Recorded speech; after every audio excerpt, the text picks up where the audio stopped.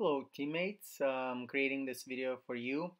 Uh, this is the simple video how to uh, put 7.2 unit together and without any further ado let's go into it.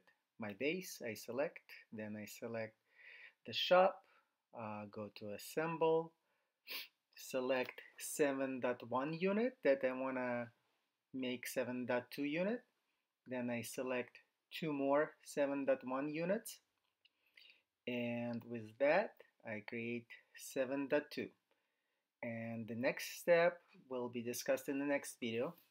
Thank you for watching. Subscribe to my channel.